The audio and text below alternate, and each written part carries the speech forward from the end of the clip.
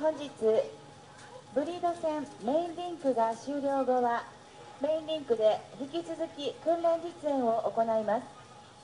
訓練実演終了後にグループ戦に入ってまいりますのでどうぞお早めにご準備をお願いいたします。